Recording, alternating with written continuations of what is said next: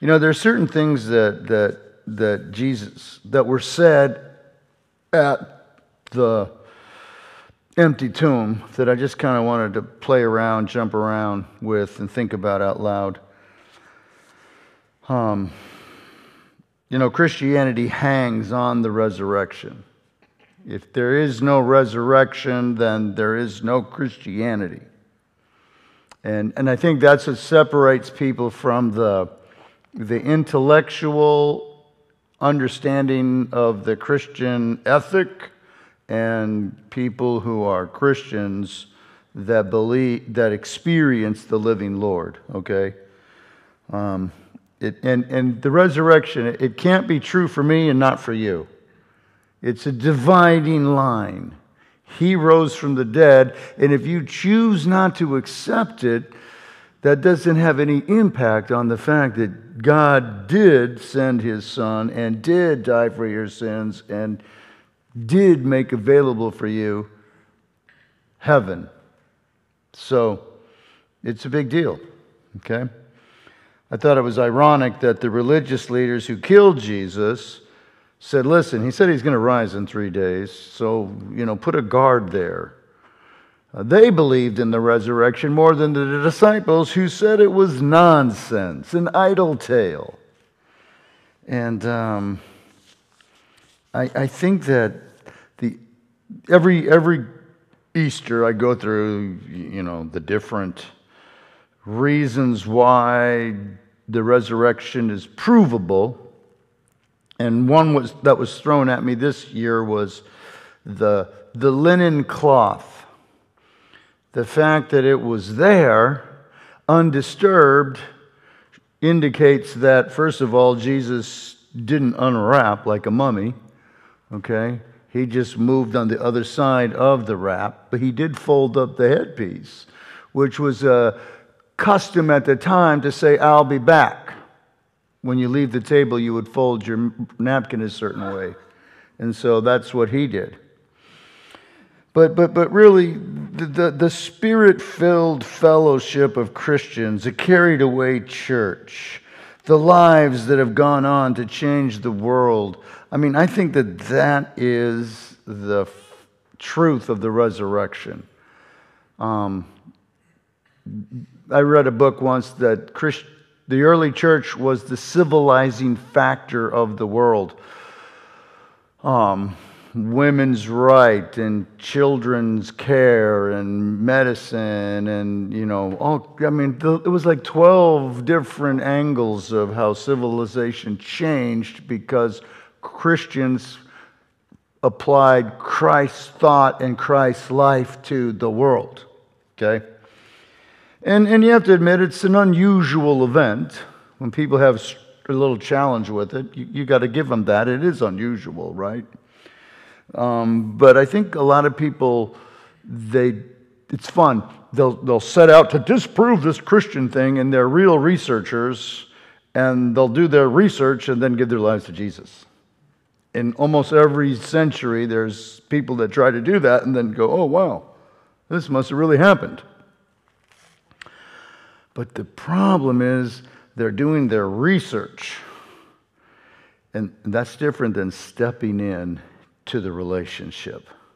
And that's what I'm always on to you about. I want you to step into that relationship, launch that dialogue. You know, this morning in my video, I, I said, um, you can do your homework to try to get rid of your doubts, but that's not the same as stepping in prayer and going, Lord, I got some doubts and taking an hour to sit there and, and release it to Him, taking some time to, to hand over your doubts, uh, doing the research and stepping into His presence, well, that's, that's just wonderful Christianity, okay?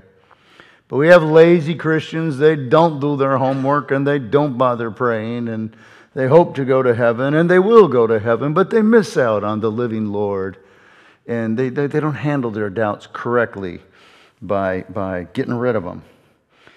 And, and you know, people are all about science. And, and I, I subtly mentioned it on, on Easter Sunday that, You know, science doesn't deal with the, the, the reality of the soul and the spiritual realm. And there is a spiritual realm.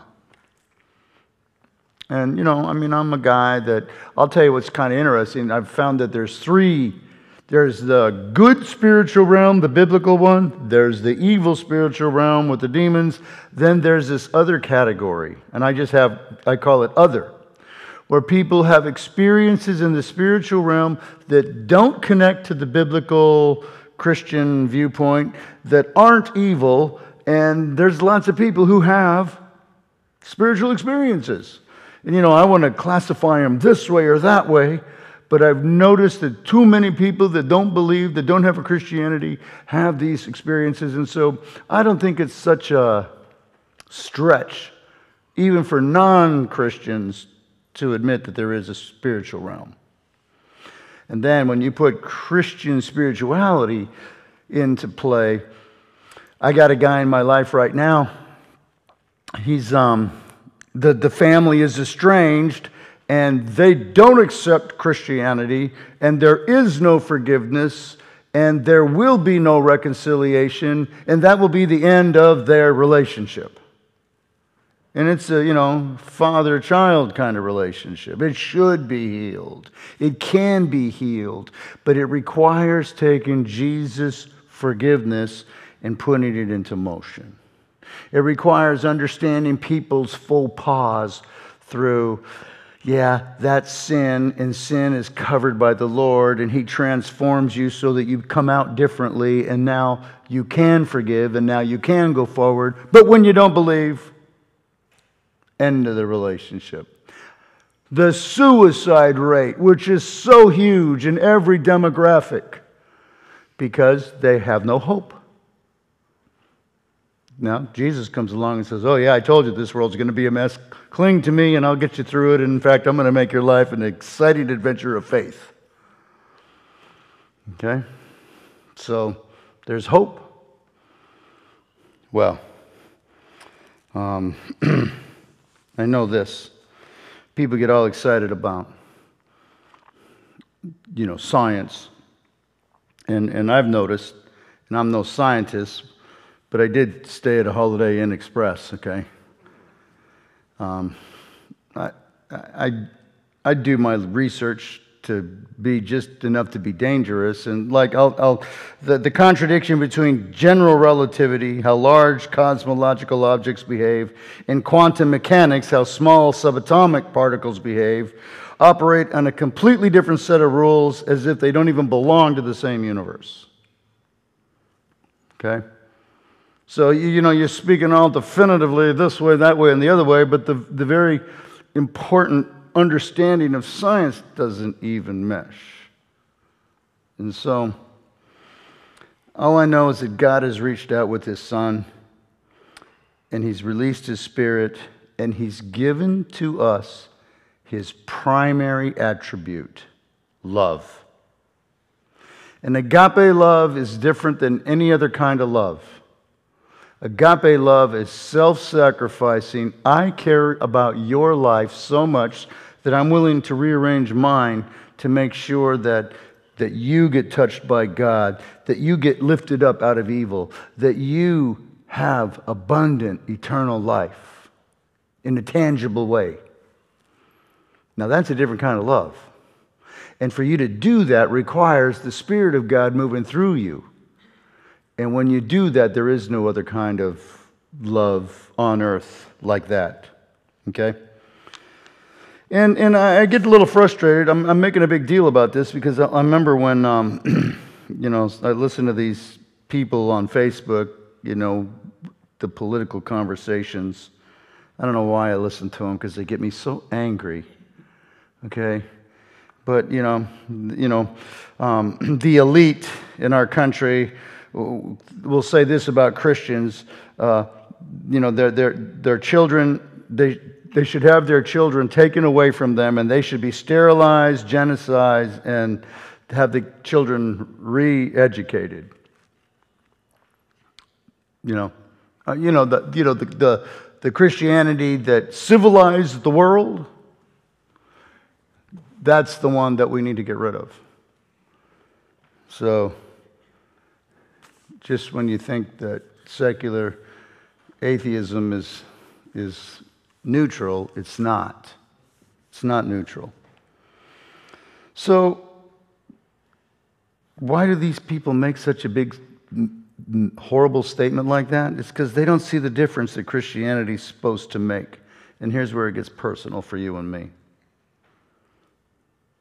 I was somewhere the other day, and a person that used to go to our church had a meltdown in that person's, in somebody's store, and I feel bad. I mean, I think we've all had meltdowns, right? And don't you feel horrible about it afterwards, you know? And so you get to a spot where you don't melt down anymore, you know? You keep it private. You melt down in here, but you don't let it out there. When they were letting it out. And don't you know, I, I observed it, and then I waited till, you know, it was all over with, and I said hello to the shopkeeper who said, Isn't that one of your Christians? You're like, oh, yeah, it is. And the worst part is, it could have been me a few years ago. And it's because we don't let Jesus lead us in those awkward moments, in those difficult times, in those offensive interactions, in those I'm not getting my way. I, it, it, so we don't let Jesus take the lead in our life and our personality, and so the world sees no difference between Christians and non Christians. You know, Disney used to have a, a, Christian night where they'd have concerts and everything, and they canceled it. And, and something that I always, I just couldn't believe it, and I still don't believe it to this day, is they would say, the, the, the staff at Disney would say, the worst night of the year is on Christian night. And I guess Christians just felt entitled and acted disrespectfully and didn't show love. And that's why people don't endorse Christianity, because I don't think they've really seen it. Okay? And handing over the reins of your life, well, that means letting the Holy Spirit guide you. And this doesn't mean that you have to be perfect, okay? But it does mean that God's opinion matters when you're making decisions.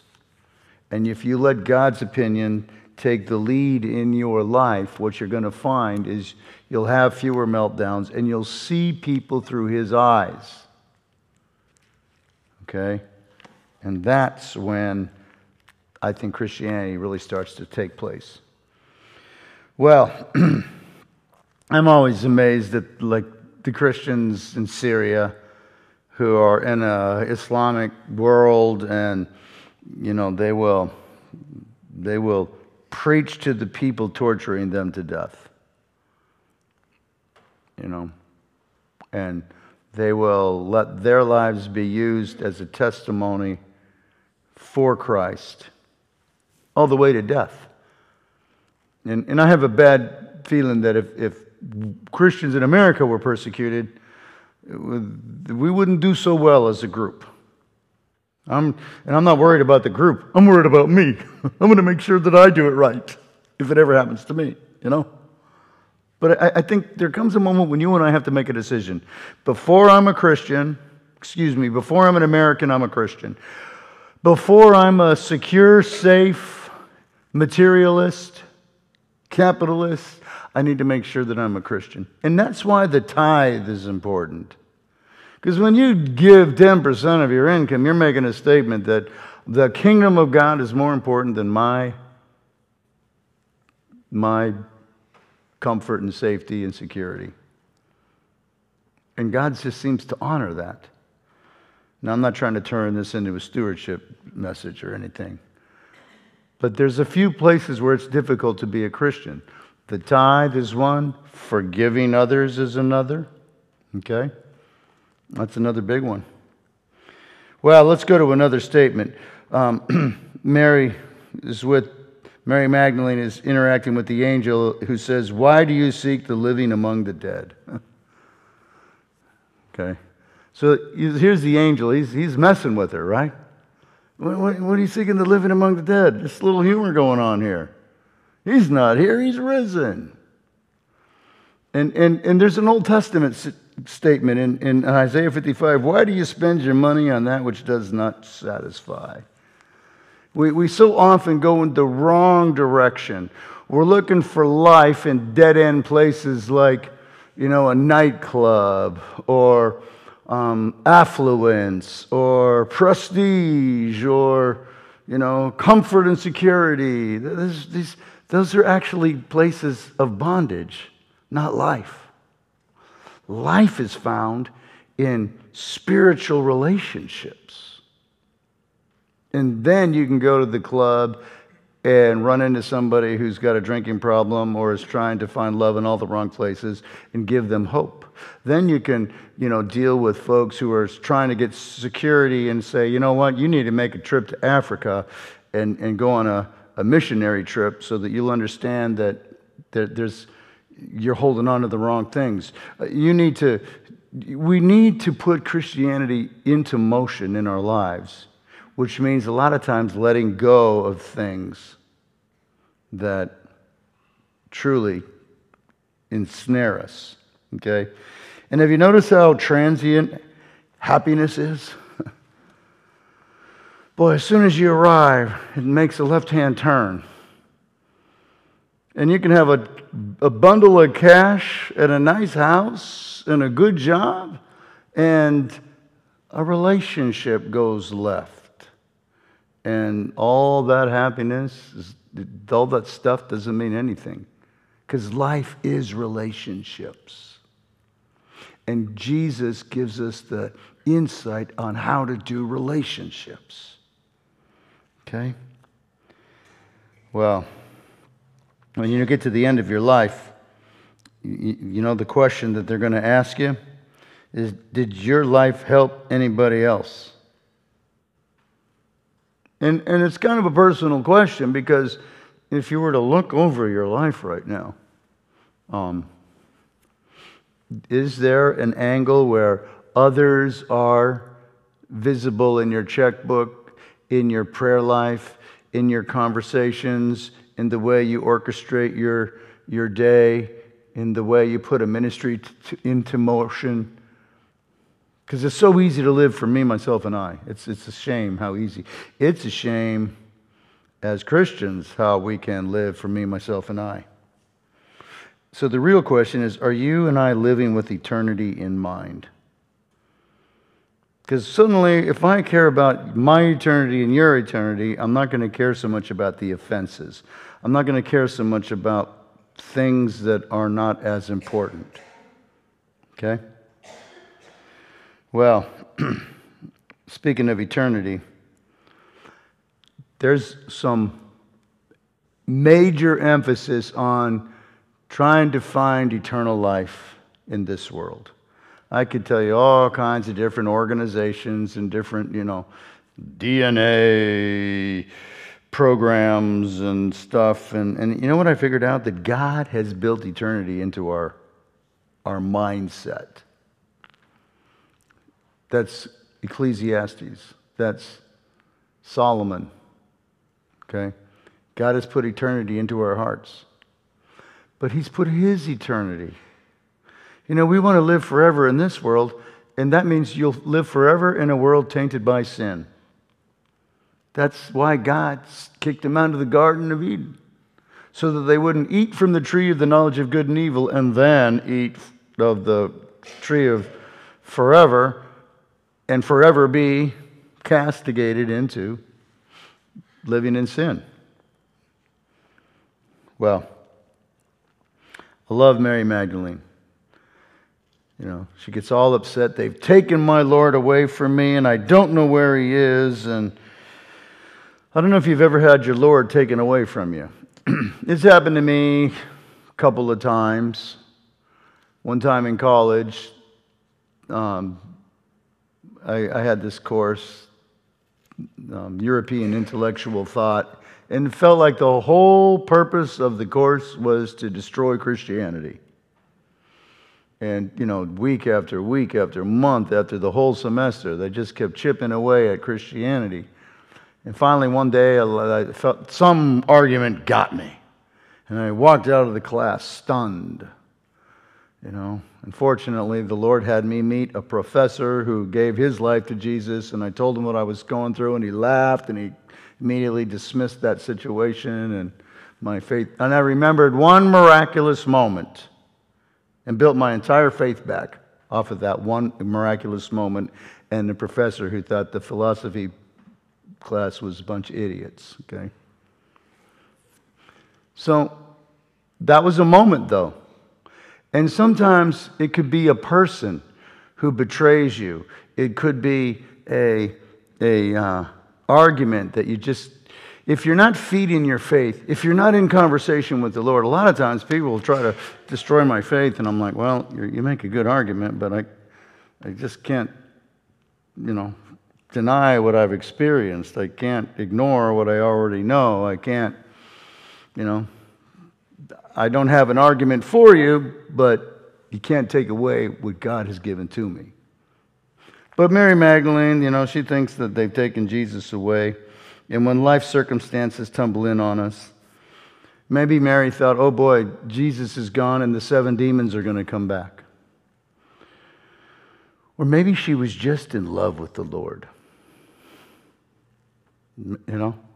And I'll just ask you a personal question Are you in love with the Lord? Don't nod your heads. It's, it's a penetrating question because I like his blessings and I need his guidance and I want to go to heaven and um, it's better than the alternative. Remember, Florida, which, by the way, it's going to be 87 today. Um, here's the thing Are you in love with Jesus?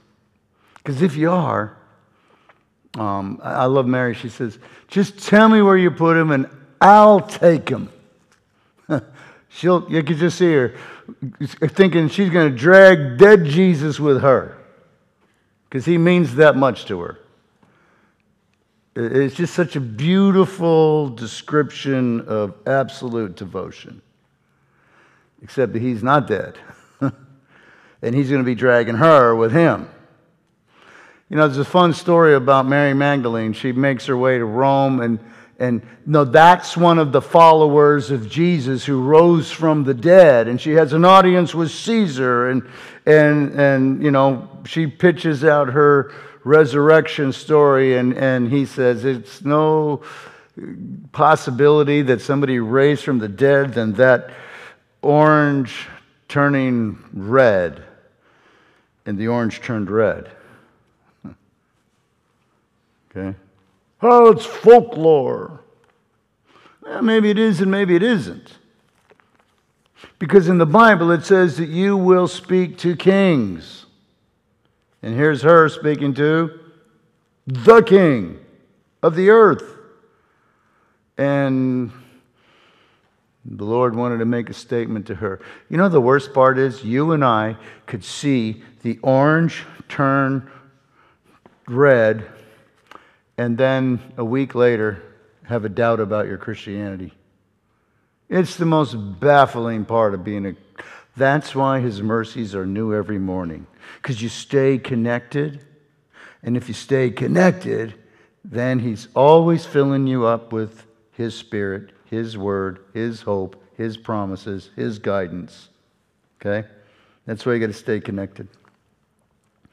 Well, um, I guess what I'm saying is an hour or two a week is not going to be enough to combat the constant onslaught of Satan, always trying to chip away at your faith and at your soul. And, and you know, Mark Twain, I, I think this is kind of powerful. He had a girlfriend, of his lifelong companion. And one day she was going through a crisis, and I don't know if you know this, but he was an atheist. Okay? And he was very smart. So if you've ever hung out with smart atheists, that's a challenge. I've, I've had some good, smart atheist friends, okay? And, uh, you know, she would not be in his league intellectually. And so he says, Well, why don't you lean on your faith? And then she says, Because you've taken it from me. And then I need you to hear this. If the only news you watch is the secular atheists, because they support your political perspective, then what's going to happen to your Christianity? They're going to take it away from you. If you are somebody who, who hangs out with a bunch of people that don't believe in God, let's say all my gym buddies don't believe in God, or the folks that I play cards with and have a bourbon on Wednesday night don't believe in God, or, uh, you know, we all have people that are in our lives that don't believe in God. If they have too much of a voice into your soul, they're going to disrupt it. Okay? So you have to be aware of this. Once again, sometimes homework is involved. Sometimes I have set myself apart from people I really liked because they just weren't good for my faith. And it's hard to say no to a friend that you've carried a long time. And, and I, I want to remind you one more thing. You know, Christians forfeit the resurrection power because they don't stay connected to Jesus. Remember, he says, Apart from me, you can do nothing. One more thing about Mary Magdalene she lingered in the garden. She lingered. You know, I got this thing where I'll come in here at five something in the morning, and sometimes I come in here and I got the list okay, Lord, I need this and I need that, and you got to do this, and I need you to step in here, and blah, blah, blah, blah, blah. And other times I come wandering in with nothing. Just come in to see what's going on with them. And there'll be a moment when I'll feel like, oh, I'm just wasting time. I should go up to my office and get something done. But I'll say, no, you know. And I'll linger in here, and all of a sudden, I'll get a, a special touch or he'll put somebody on my heart, or I'll have a, an answer to a big question weeks ago will all of a sudden come to me. Just lingering in his presence seems to launch the resurrected Lord in your life. And again, if you're like me, I measure time in minutes. How many minutes did I spend with this person? How many minutes do I have till I get to my next appointment? How, you know, I'm, I try to make a lot of things happen. I got a lecture from my wife today. How many meetings did you say you have? It's the second day after Easter. I'm like, I know. You know? So I lost a bunch of minutes getting a lecture when I needed to get things done. Okay?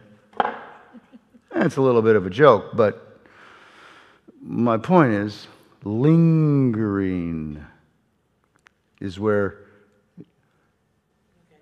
you get relationship. Lingering with one another, okay, is where I think the magic of a relationship happens. And she lingered and she got to see the living Lord. Well, you know, it's funny about Mark's account of the Easter story. It ends, they left and they were afraid. It's not a very good ending. But it's kind of how it works. You mean Jesus could be alive? Have you ever been in the, the actual presence of an apex um, animal. What do they call it? The A? Um, there's, there's groups of animals, and the killers are A. They're called, they're, they're an A animal, like a tiger, or a gorilla, or a hippo, or a 12, a 15 foot crocodile. You know, when you're in the presence of something like that, there's just a fear that comes over you because you realize that if that animal looks at you and decides to bite, you do not have a chance.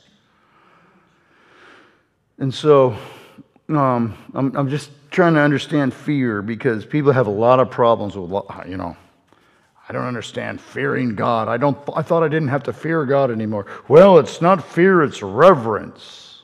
It is reverence. I'm just going to tell you that the few times that I've had an actual experience of God coming into my room and coming into my presence, I was terrified. And it wasn't because, oh, the President of the United States has entered into my presence. No. It was just fear. And I was embarrassed. One time I asked him to leave. Then I was embarrassed. I had an opportunity to hang out with God, and I got so scared I asked him to leave. Other times you just realize, I mean, He's infinite God. And if He's alive, that means what He says you have to listen to. And if He's alive, that means His calling is something that you have to carry out. It's a fearful thing to fall into the hands of a living God. But here's, here's what you got to know what's fearful is um, He really loves you. And, and, and you have to take him seriously. And, and, and so, I don't know. I think, remember when Peter met Jesus and he said, Depart from me, I'm a sinful man? He recognized who Jesus was and who he was. Okay? And you're that, and I'm this. And, and this is what I'm talking about. And Jesus sits down and says, You know what? Um, you're not this. You're this to me. You, I'm, you, I love you this much. I'm about to give my life for you because you're not some insignificant, sinful thing. I'm going to remove all the sin from your life so that you and me, the creator of your world and universe, can have a relationship. Now, just saying that, doesn't that cause a little bit of excitement, but also a little bit of, ooh, really? I think so. Okay? You don't have to shy away from God. And, and I found this really fascinating. I'm sorry I'm jumping all over the place. Hopefully, you can put up with my ADDDDD today. I put a sermon together that I didn't use, and what it was is Peter would have an experience, and then when you look at Peter's writings, there would be a comment that he would make that was exact like he denied the Lord, right? Then what does he say in, in 1 Peter 3:15? Always be ready to give an account of your faith. He wasn't ready when he went into the courtyard. But what does he write to us? Always be ready. Okay? And then there's another time where, you know, he says, the devil prowls around like a roaring lion seeking someone to destroy. What did Jesus tell him? Uh, Satan wants to sift you like wheat. So he got sifted. That was a bad experience for him. So he wants us to know hey, that devil out there, he's, he's, he's, he's a roaring lion. But actually, do you know that the Bible says the king's wrath is like the roaring of a lion? And what Satan wants to do is get you scared of God, get you to disqualify yourself to step into the presence of God, get you to see yourself this small when Jesus sees you this big. His whole goal is to get you afraid of the wrath of God which Jesus took away from you. So, do you see how he messes with us? Okay?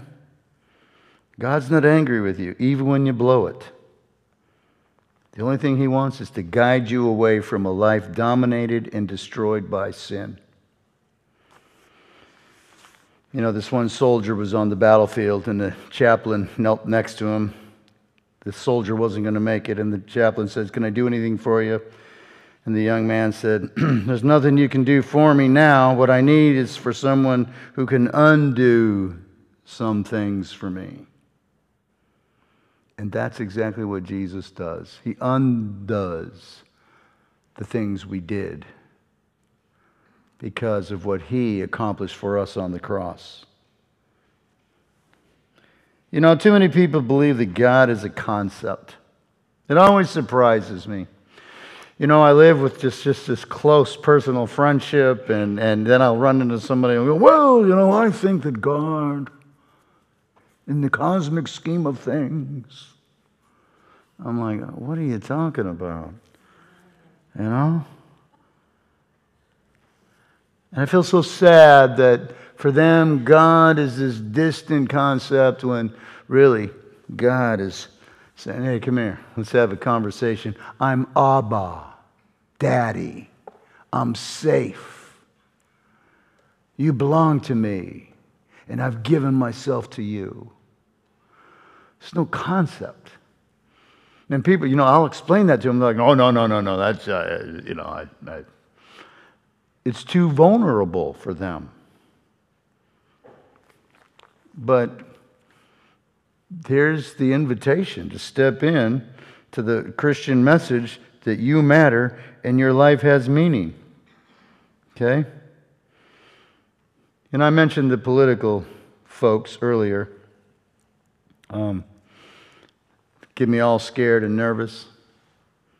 I, I, I want to say this the same power that enabled Jesus to rise from the dead is going to be the power that will dictate your future, not the person you vote for. All right?